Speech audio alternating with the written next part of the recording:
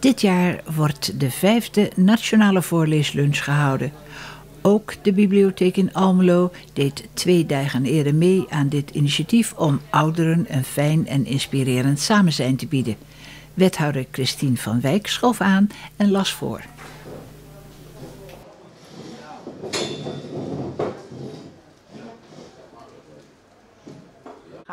Op tv stond nog steeds de sportzender aan.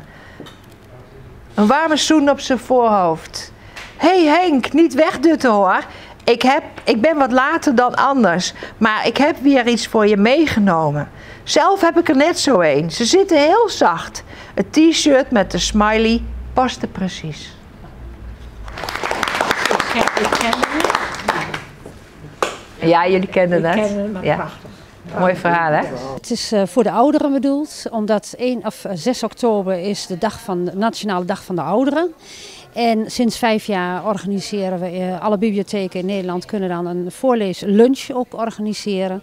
En dat is dus echt bedoeld voor de ouderen, eh, omdat dat ook een gedeelte van onze doelgroep is. eh. En eh, dit jaar staat eigenlijk een beetje in het teken van de ouderen onderling. Eenzaamheid en, en ja, dat soort onderwerpen. Eh, is dit daar ook een onderdeel van? Ja, zoals u ziet eh, zitten ze allemaal gezellig eh, bij elkaar te kletsen. En dat is nu ook een onderdeel ervan om toch mensen bij elkaar te brengen die elkaar misschien anders niet gegroet hadden. En eh, op deze manier toch gezellig een lunch samen hebben. En is dit een initiatief van jullie zelf of is dit landelijk? Dit is ook landelijk en elke bibliotheek mag natuurlijk zelf weten of hij er eentje organiseert.